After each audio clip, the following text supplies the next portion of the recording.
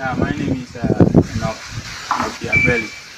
and uh, currently it's here. So I'm performing a piece for Ajubo, a solo version. Um, the name of the variation is Madura with Guitar.